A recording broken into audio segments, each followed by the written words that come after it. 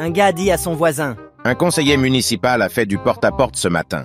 Il demandait si on voulait bien faire un don pour la construction de la piscine municipale. Ah, tu lui as donné quelque chose? Oui, un litre d'eau. Alors, ça vous a plu? N'hésitez pas à liker et à vous abonner à ma chaîne YouTube. Vous y trouverez toutes mes blagues et pour ne rien rater, n'oubliez pas d'activer les notifications. Peace